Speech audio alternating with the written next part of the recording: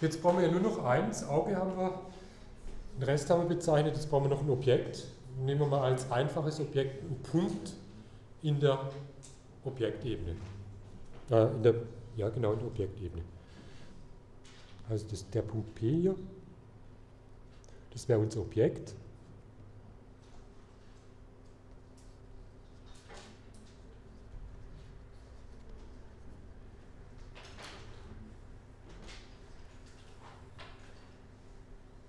Und dann ist ganz klar, wir machen genau das, wie es bei dem Dürer äh, beschrieben worden ist, also mit der Schnur beispielsweise bei der Laute. Wir zeichnen jetzt einen Sehstrahl von Punkt zum Auge, also wir verbinden die durch eine Gerade.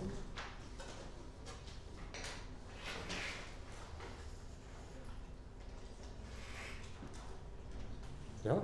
Und dann können Sie sich natürlich vorstellen, irgendwo schneidet dieser Seestrahl, diese Gerade,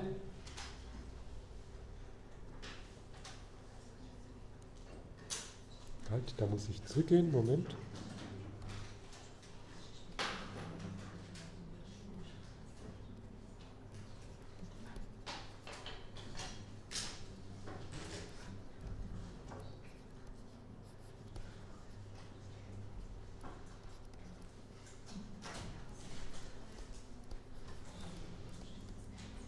Der schneidet die Bildebene in einem Punkt, genau einem Punkt. Angenommen, der wäre hier. P'. P' ist also der Schnittpunkt. Ich las, lassen Sie mich das so schreiben. Von PE mit der Bildebene.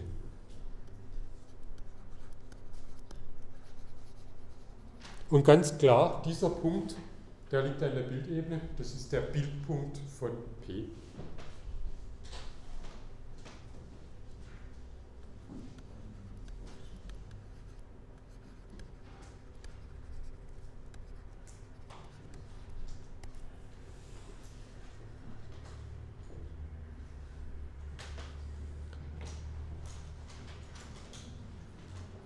So, Sie können sich jetzt vorstellen, je weiter der Punkt P, also das Objekt, nach links wandert. Also je weiter dieser Punkt sich von der Bildebene entfernt, der Abstand vergrößert wird, desto ja, höher liegt dieser Bildpunkt P'. Und es gibt da eine natürliche Grenze, die Sie auch kennen, wenn Sie mal Urlaub gemacht haben am Meer dann sehen Sie vor sich den Horizont und weiter können Sie nicht sehen. Und den Horizont zeichnen wir hier ein. Also Horizont, eine ganz wichtige Linie. Und dazu gehen wir folgendermaßen vor. Wir gehen vom, vom Auge senkrecht zur Bildebene direkt rüber. Also wir fällen vom Auge, so müsste man sagen, das Lot auf die Bildebene.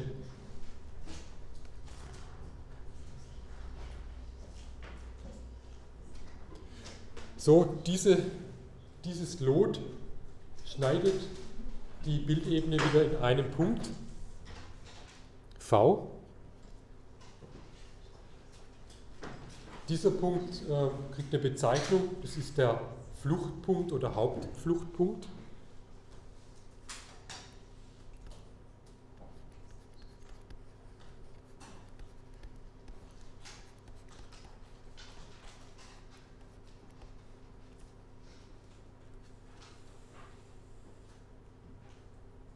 Und durch diesen Fluchtpunkt, diesen Hauptfluchtpunkt, wir wollen genau sein, weil Sie werden feststellen, wir werden im Laufe der Zeit, haben es nicht bloß mit einem Fluchtpunkt zu tun, also mit diesem Fluchtpunkt, sondern noch andere dazu. Das ist der Hauptfluchtpunkt. Durch diesen Hauptfluchtpunkt geht der Horizont. Das ist eine Gerade, die parallel ist zur Grundlinie und durch das V geht. Ja, lassen Sie mich das wieder blau einzeichnen. Parallele zur Grund, parallel zur Grundlinie, das passt natürlich nicht ganz, sieht nicht ganz parallel aus, also nochmal zurück, rückgängig, so irgendwie.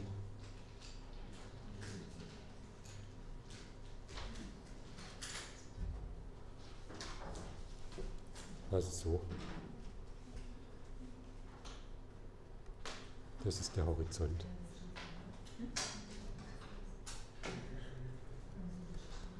Das schreibe ich mal hier unten noch hin.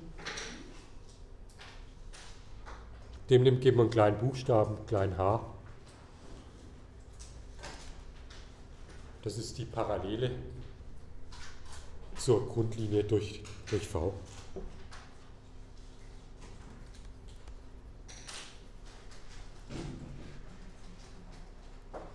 Und der geben wir den Namen G durch V. Kürzen wir ab.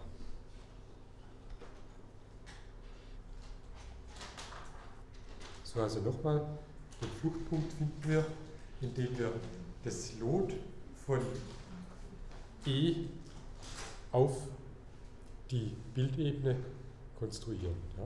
Dies natürlich, dieses Lot ist automatisch parallel zur Objektebene. Weil Sie wissen ja, Objektebene und Bildebene stehen senkrecht aufeinander.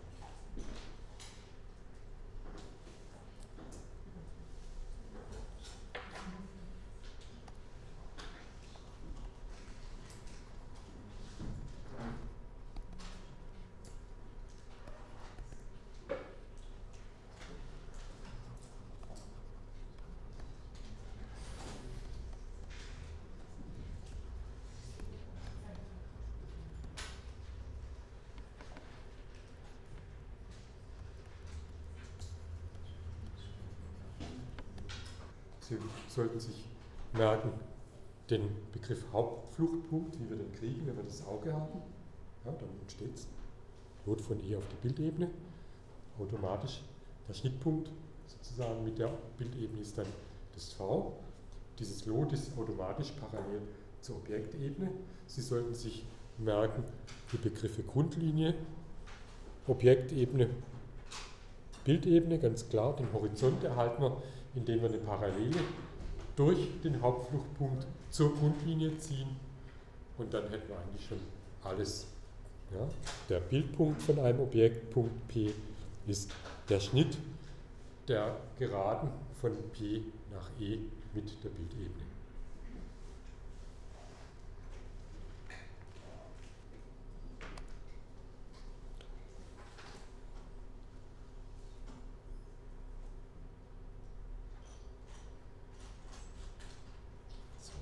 Also nochmal, Konstruktion des Bildes.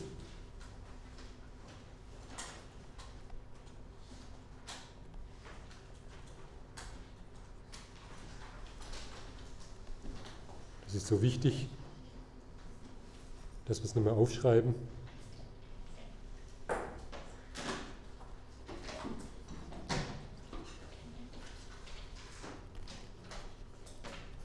Wir werden es gleich entsprechend anwenden.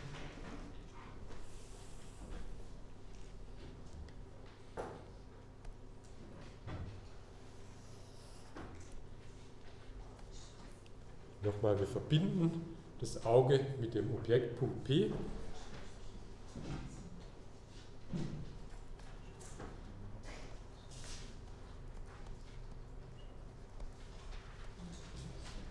Die Gerade P E oder EP, in Klammern, das ist gleich der Seestrahl.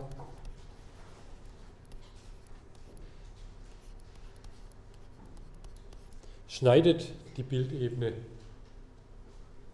Punkt P'.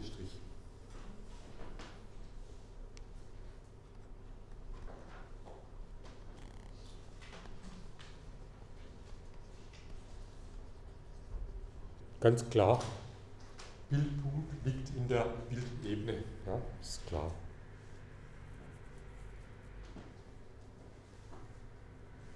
Den Bildpunkt hätten wir auch konstruieren können jetzt hier in unserem Beispiel, ohne dass wir uns Gedanken gemacht hätten über den Hauptfluchtpunkt oder den Fluchtpunkt. Und deswegen stellt sich sofort die Frage, wozu ist eigentlich dieser Fluchtpunkt gut.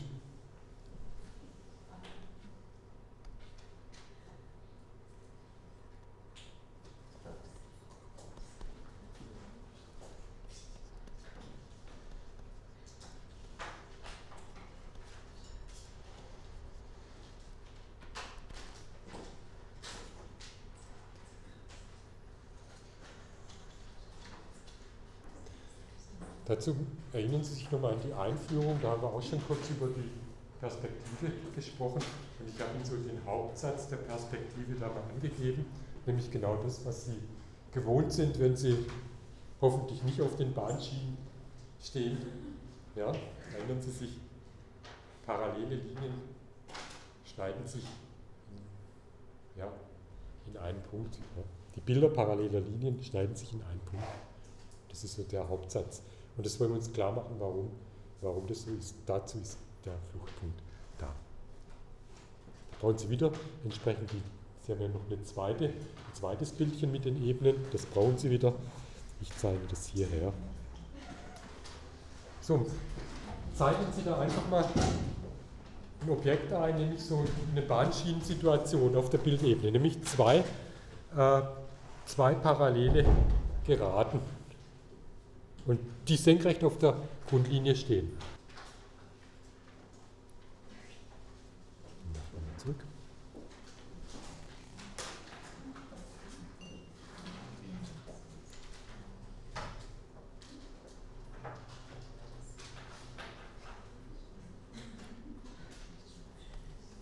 Die nennen wir L1 und L2.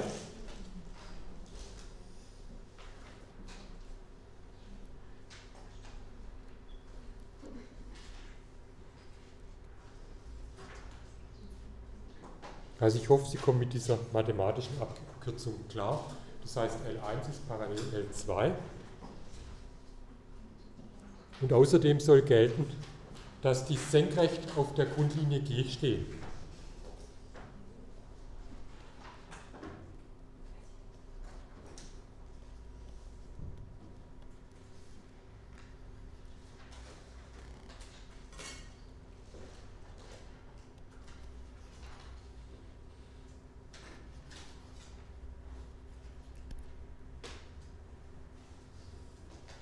So, wir kriegen da markante Punkte, indem wir einfach diese Bahnschienensituation mal nachzeichnen. Da haben Sie sozusagen so im gleichen Abstand immer diese, ja,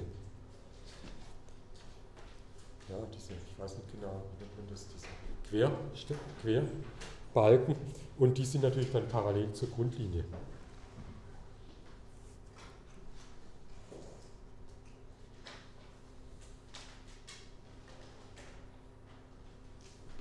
Vielleicht noch, damit da keine Ver äh, Verwechslung auftaucht, die L2 und L, L1 und L2, die sind natürlich, die liegen in der Objektebene.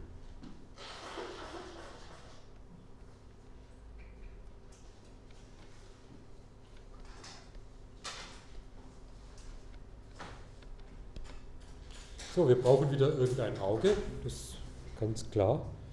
Das nehmen wir uns. Irgendwie hier Beobachtungspunkt.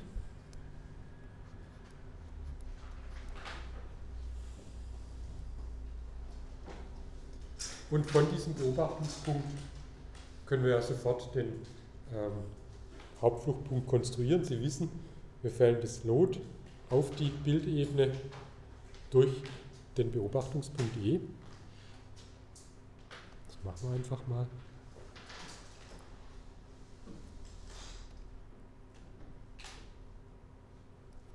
So wird es nichts.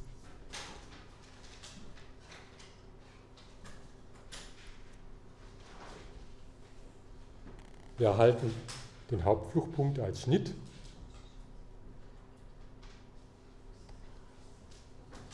Und Sie können den Horizont noch einzeichnen. Der ist aber, ja, den, den zeichnen wir ein.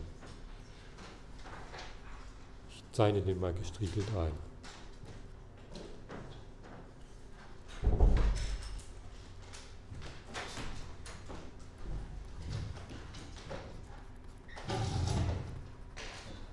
So, Sie haben jetzt markante Punkte. Was wir jetzt machen wollen, ist, ähm, wir wollen die Bilder von L1 und L2 konstruieren. Ja, wir wissen ja, wie wir vorzugehen haben.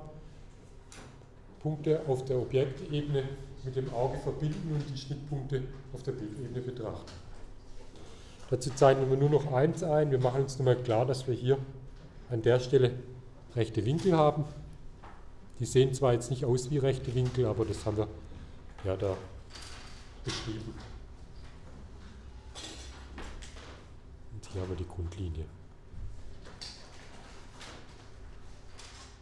So, wir brauchen nur Punkte auf L1, um das Bild von L1 zu konstruieren. Das machen wir. Suchen wir uns Punkte und dazu sind diese Querbalken richtig günstig. Ich glaube, die reichen uns schon. Vielleicht noch, noch den hier. Also diese fünf Punkte, die können wir jetzt auch wieder bezeichnen. Äh, wollen, wollen, wir jetzt nicht, wollen wir jetzt nicht machen, sondern wir wissen, wie wir vorzugehen haben. Wir nehmen entsprechend die Geraden, wir nehmen unseren Punkt her, den ersten von links, verbinden den mit dem Auge.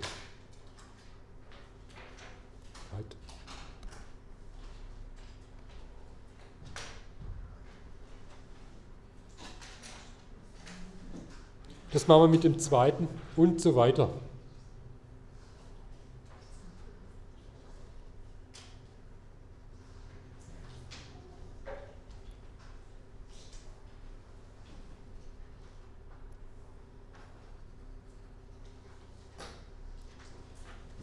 So.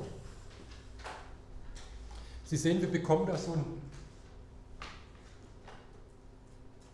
ja, Strahlenbüschel, muss man sagen. Das ist wie so ein Fächer. Ja, wie so ein Fächer. Und jetzt stellen Sie sich vor, Sie hätten diese, ja, Sie hätten nicht bloß Seestrahlen gezeichnet von den entsprechenden äh, Punkten hier, den blauen Punkten, wo die Querbalken die sozusagen schneiden, sondern von allen Punkten auf L1 dann wäre das eine Ebene. Ja? Dann wäre das rote eine Ebene. Und deswegen nennen, benennen wir die mal mit K.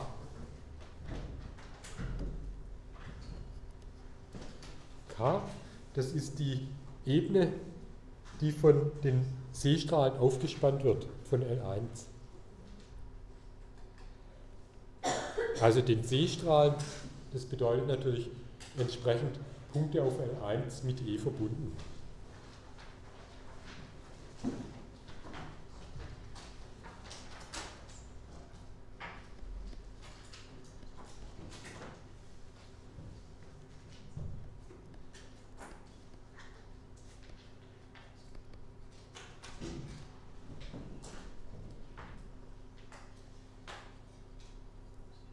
So, jetzt haben wir wieder die Situation. K, dieses, dieses Strahlenbüschel, das spannt die Ebene auf. Und wir haben die Bildebene. Also zwei Ebenen, die sich schneiden. Zwei Ebenen, die nicht parallel sind und die sich schneiden. Was erhalten wir dann als Schnitt? Was für ein geometrisches Objekt, wenn sich zwei Ebenen schneiden, die nicht parallel sind? Ja. Ja, eine Gerade. Das wollen wir ja auch haben, weil wir wollen ja das Bild von der L1 haben. Das heißt, der Schnitt von dieser, von, von, von der Ebene K mit der Bildebene ist das Bild der Geraden L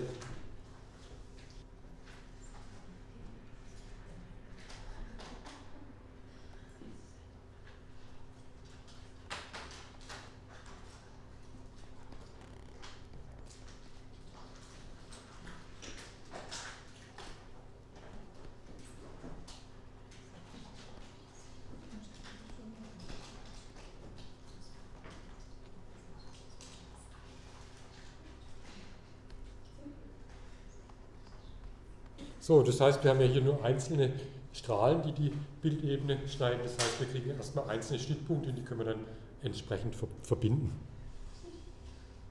Also die zeigen wir jetzt hier mal so frei Hand ein. Ja, Moment. Da unten kriegen wir sicher einen Punkt. Ja. Der Schnittpunkt von L1 mit äh, der Bildebene, der bleibt sicher da. Und dann können Sie entsprechend hier die Punkte einzeichnen. Genau können Sie es nicht machen, es ist alles nur Vermutung, aber wir wissen das und das können wir auch, werden wir auch gleich beweisen. Diese Punkte liegen auf einer Geraden und diese Gerade, die geht durch den Fluchtpunkt, durch den Hauptfluchtpunkt V. Also das Bild von L1 geht durch den Hauptfluchtpunkt V.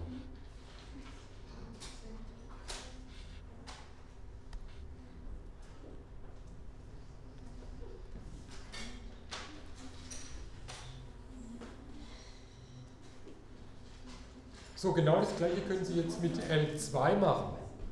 Mit L2 kriegen Sie wieder so ein entsprechendes äh, äh, Seestrahlen, kriegen Sie entsprechende Seestrahlen, kriegen so ein Strahlenbüschel. Diese Seestrahlen von L2 spannen auch wieder eine Ebene auf. Diese Ebene schneidet wieder die Bildebene, das heißt, wir kriegen auch das Bild von L2 ist auch eine Gerade, nämlich der Schnitt von dieser, von dieser äh, Seestrahlenebene. Ja mit der Bildebene und auch die, diese Gerade, die geht durch den Hauptfluchtpunkt, wie wir gleich beweisen werden.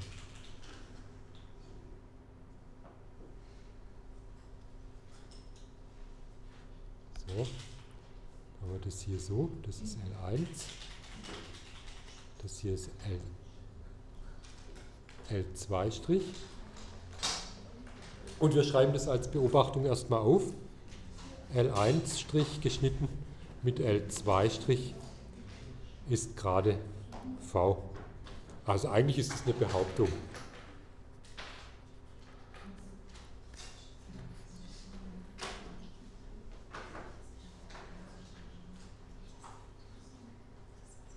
Diese Behauptung wollen wir zeigen, aber bevor wir das machen, können wir, also nehmen wir mal an, wir hätten das gezeigt und das ist wahr, dann können wir festhalten, dass wir jetzt wissen, dass Bilder von parallelen Geraden, die senkrecht auf der Grundlinie stehen, sich im Hauptfluchtpunkt schneiden.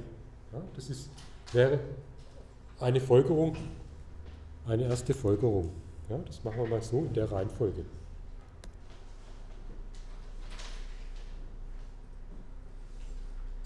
Also fassen wir das zusammen. Erster, erste Behauptung. V liegt auf L1' und V liegt auf L2'. Können wir, könnten wir in Kurzschrift schreiben, aber das Geht so, das ist das Erste, das werden wir beweisen. Und die Folgerung wäre,